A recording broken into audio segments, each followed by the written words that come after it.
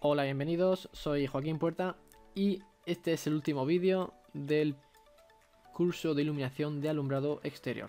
Ya tenemos el cálculo terminado, lo hemos importado, exportado a PDF y una herramienta que os voy a explicar ahora es cómo exportar todo lo que hemos hecho a un plano CAD, es decir, al plano CAD que nosotros hemos importado previamente al inicio del proyecto.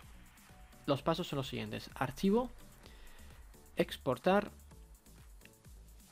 guardar archivo DWG o DXF. Aquí importante, si alguno no tiene el AutoCAD instalado, pues probablemente no pueda hacerlo porque no, pueda verlo realmente, no pueda abrirlo después.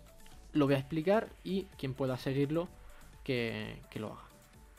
Bien, aquí nos aparece una ventana que pone examinar.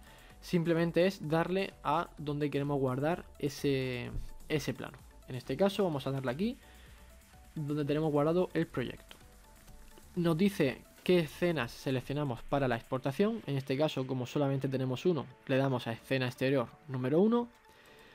En luminarias nos hace diferentes preguntas. Aquí, bueno, en estas eh, pestañas es seleccionar, pues por ejemplo, si queremos que las isolíneas nos las ponga en color rojo o en color verde, diferentes tipos de capas, bueno, son diferentes opciones que nos da Dialux para poder ir haciendo.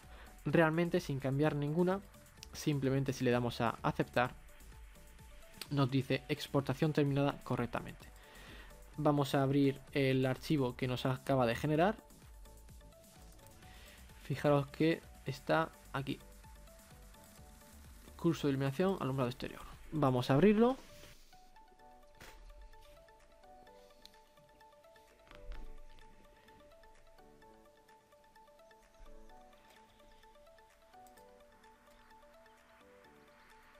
Y esto es lo que nos ha exportado a AutoCAD. Nuestro área de aparcamiento. Y fijaros que aquí arriba a la derecha aparece la leyenda aparece Dialux, Freeline, el nombre de la, referencia luminaria, nos dice el número, de un, el número de unidades, 24 de este modelo, 10 de este, nos dice que es el proyecto curso de iluminación alumbrado exterior y nos da también los datos de el flujo lumínico, la potencia y la descripción de la luminaria. Pues bien, este, con este vídeo terminaríamos el curso de alumbrado exterior. Espero que os haya gustado. Cualquier duda, ponedla en la página web o en el perfil de YouTube. Y si os ha gustado, darle al like y nos vemos en los próximos vídeos.